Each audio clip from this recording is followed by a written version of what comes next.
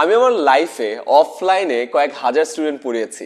অনলাইনে এটা কয়েক কোটি হয়ে গেছে। এবং আমি খেয়াল করেছি যে স্টুডেন্ট সাধারণত দুই ধরনের হয়। ভালো স্টুডেন্ট আমি বলব সবাই ভালো স্টুডেন্ট আবার কিছু থাকে খুবই ভালো স্টুডেন্ট সো গুড স্টুডেন্ট আর গ্রেট স্টুডেন্টের মধ্যে ছোট্ট কিছু ডিফারেন্সিয়েটিং ফ্যাক্টর থাকে। যেমন প্রথমটা হলো, যারা খুবই ভালো স্টুডেন্ট তারা আগের থেকে আমি কি পড়াবো এটা জেনে রেখে ওটা পড়ে আসে। পরে ওখানে কী কী জিনিস তারা বুঝছে, কী কী জিনিস বুঝছে না, ওটা আগে থেকে নোট ডাউন করে রাখে, কোনো কোয়েশ্চেন থাকলে সেট করে রাখে এবং ক্লাসে এসে বা অনলাইনে কোনো জায়গায় পার্টিসিপেট করে হয়। আইদার কমেন্টে পার্টিসিপেট করে অথবা ডিরেক্টলি জিজ্ঞাসা করে এবং এটাকেই বলে কিন্তু ফ্লিপড ক্লাসরুম মডেল তার মানে কন্টেন্ট বা ইনফরমেশন কিন্তু অলরেডি বইয়ে আছে ইউটিউবে আছে, আমার ভিডিওতে আছে। তুমি চাইলে কিন্তু ওগুলো অলরেডি দেখে ফেলতে পারো। অ্যান্ড ওটা দেখে এসে যখন আমার সাথে দেখা করছ বা সামনাসামনি কথা হচ্ছে বা কমেন্ট করছ, তখন যদি ওখানকার যে কনসার্নগুলো বা প্রবলেমগুলো আছে, ওগুলো যদি জিজ্ঞাসা করো, তাহলে কিন্তু তোমার গ্রাউন্ড একেবারে ক্লিয়ার হয়ে যাচ্ছে। সো নেক্সট টাইম মনে রেখো, যতটুকু সম্ভব আগে থেকে প্রিপেয়ার করে রেখে দেন ক্লাসে যাও। দ্য ফ্লিপড ক্লাসরুম মডেল তাহলে যেসব জিনিস তুমি পড়ছো ক্লাসরুমে যে প্র্যাকটিক্যাল ইমপ্লিমেন্টেশন দেখতে পারবা, কোনো কনসার্ন থাকলে ওটা সলভ করে নিতে পারবা। কোয়েশ্চেন দেখে কিন্তু অনেক সময় বোঝা যায় যে স্টুডেন্ট কি অনেক ভালো চান্স পাবে, নাকি ও কোনো মতে টিকে থাকবে। একটা এক্সাম্পল যদি দিতে হয়, তাহলে হবে যে অনেক সময় পড়া দিতাম এবং যাদের অত মনোবল ছিল না তারা বলতো যে, ভাইয়া এইটাও কি পড়তে হবে ভাই? এইটা কি না পড়লে হয় অন্য কোনো কিছু এক্সিস দেওয়ার চেষ্টা করতো? কিন্তু যারা অ্যাকচুয়ালি মনোবলটা থাকতো, ওদের কোয়েশ্চেন রিয়েল লাইফ কোয়েশ্চেন যেটা করেছিল আমাকে, সেটা হচ্ছে ফার্স্ট দিনই যে, ভাইয়া আইবিএতে ফার্স্ট শো লাগবে। আর আমাকে বলেন যে, আমি কীভাবে প্রিপারেশন নেব? দুটা ডিফারেন্স জাস্ট বুঝেন।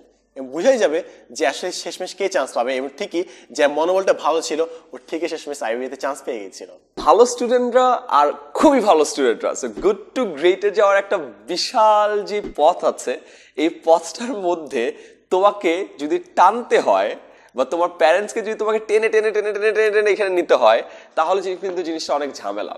অনেক স্টুডেন্ট থাকে যাদেরকে পড়াশোনার ব্যাপারে তার প্যারেন্টসটা গুতা দিতে দিতে দিতে দিতে দিতে দিতে কাহিল করে দিচ্ছে এবং ওরা বলে, ভাই, আমার প্যারেন্টস এত গুতা দেয়, আমার আর ভালো লাগে না। বাট দ্য প্রবলেম ইজ তুমি যদি তোমার পড়ালেখা নিয়ে আরও বেশি কনসার্ন হতা, তুমি যদি তোমার প্যারেন্টসকে পড়ালেখা নিয়ে রেগুলার আপডেট দিতে, তাহলে কিন্তু তোমার প্যারেন্টস তোমাকে এভাবে পুশ করতো না। সো খেয়াল রেখো, তোমার প্যারেন্টস তোমাকে গুতগুতি করে, তার কারণ হলো তারা তোমাকে নিয়ে কনসার্ন সো নেক্সট টাইম তোমার প্যারেন্টস যদি তোমাকে একটু বেশি পুশ করে, তার মানে তুমি বুঝবা যে তুমি তাদেরকে আগে থেকে ওই রিলায়েন্সটা দিতে পারছ না। ওই আশ্বাসটা দিতে পারছ না যে তারা না থাকলেও তুমি অনেক ভালো করবা। এই জিনিসটা ট্রাই করো, একবার তাদের মধ্যে ট্রাস্টটা বিল্ড করার চেষ্টা করো, তাহলে দেখবা তারা তোমাকে পুশি করছে না ইজিলি পুরো কাজটা হয়ে যাচ্ছে। যা গুড স্টুডেন্ট ওদের সবসময় কোনো না কোনো একটা এক্সকিউজ থাকবে যে, ভ্যা, একটুই তো ওয়ার্ল্ড কাপ ছিল, ভ্যা, কিংবা ভ্যা, একটু সিক ছিলাম, ভ্যা, কিংবা বিভিন্ন এক্সকিউজ থাকবে। আচ্ছা এক্সকিউজ থাকতেই পারে, কিন্তু গ্রেট স্টুডেন্ট যারা আছে, ওই এক্সকিউজটা না দিয়ে ওরা দিন শেষে পড়াটা শেষ করে। তো আমরা কি এক্সকিউজ দিচ্ছি? নাকি দিন শেষে পড়াটা শেষ করছি?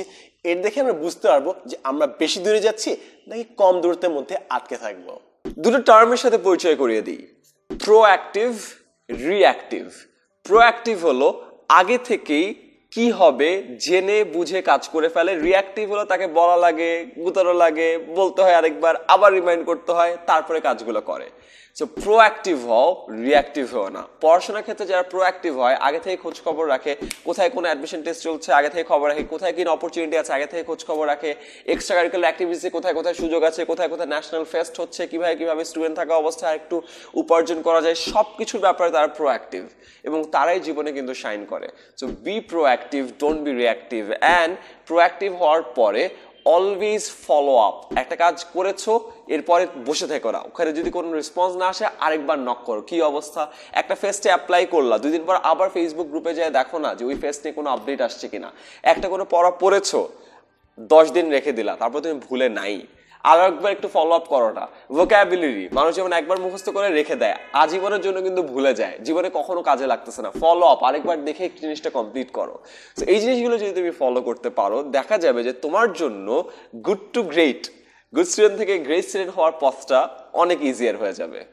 ফাইনাল যে ডিফারেন্সিয়েটিং যে ফ্যাক্টরটা আছে, সেটা হচ্ছে প্ল্যানিং এমন অনেক সময় হয়েছে যে দুই মাস পড়েছি, দুই মাস পড়ানোর পর হঠাৎ করে স্টুডেন্ট পোল্টি মারলো যে, ভাই, আমি তো ওই জায়গায় চান্স নেওয়ার জন্য এখন রেডি হচ্ছি। তো আমি নিজেও এলোমেলো হয়ে যে, ভাই, তুমি তো তোমাকে এতদিন এইটা পড়াইলাম, তো এটা কীভাবে পড়বা? তো যেই স্টুডেন্টরা আগে থেকে ফোকাস থাকে প্ল্যান করে রাখে যে ওই রাস্তায় যাবে, তাদেরকে পড়ানোর সুবিধা এবং যেহেতু তার ফোকাস থাকে, তার প্রিপারেশনটা অনেক ভালো হয়, ঠিকই তার শেষমেশ চান্স পাওয়ার সুবিধাটা বেশি থাকে। আমি অ্যাজ এ টিচার অলওয়েজ মনে করতাম যে সব স্টুডেন্টই ভালো। আমার ডিকশনারিতে কোনো খারাপ স্টুডেন্ট বলে কিছু নাই। কারণ কোনো স্টুডেন্ট যদি ভালো না করে, আমি ধরে নিতাম আমি তাকে পড়াতে পারছি না অথবা বুঝাতে পারছি না অথবা সে যদি একেবারে ডিসইন্টারেস্টেড হয়, তার মানে আমি মনে করি আমি তার মধ্যে কোনো ইন্সপিরেশনের সঞ্চার করতে পারিনি। তাই সেম জিনিসটা তোমরাও কিন্তু চিন্তা করতে পারো যে আচ্ছা স্যার তো পড়িয়েছে নোট তো আছে, বইয়ে সব কিছু আছে ইন্টারনেটে সব অ্যাভেলেবেল আমি যদি কোনো কাজ না করতে পারি, তাহলে আমার দোষ। So, আমি যেমন টিচার হিসেবে আমার উপর দোষ নিয়ে নিয়েছি তুমি ছাত্র হিসেবে যদি দোষটা তোমার উপরে নিয়ে নাও তাহলে দেখবা দুই সাইড থেকে আমরা সাধ্যের সবটুকু চেষ্টা করব এবং দুই সাইড থেকে যখন পুশ করা হবে আমাদের জন্য গুড টু গ্রেট হওয়ার জার্নিটা অনেক ইজি হয়ে যাবে।